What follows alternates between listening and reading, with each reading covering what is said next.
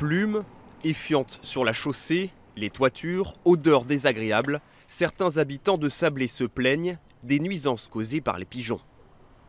Dans le centre-ville, il y en a beaucoup quoi.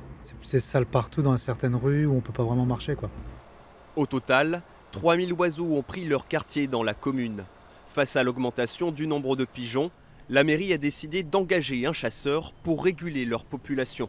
Une méthode qui divise.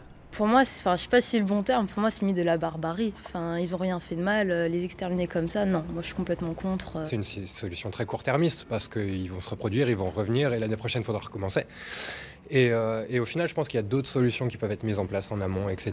Peut-être sur une gestion de la population, peut-être avec des gens qui s'y connaissent sur ce, ce domaine-là, etc.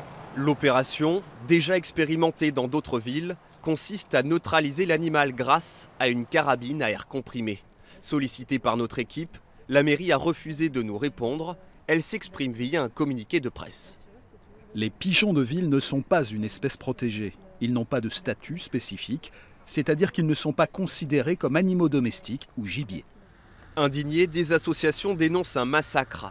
Selon la Ligue de protection des oiseaux, il existe des alternatives plus douces, comme les pigeonniers contraceptifs. C'est un système de cases. Les pigeons nichent et puis les œufs euh, sont soit euh, secoués pour ou soit remplacés aussi par d'autres œufs factices, de telle sorte qu'il n'y a pas d'éclosion de- des œufs. Sur Internet, une pétition anti-chasse a recueilli près de 12 000 signatures.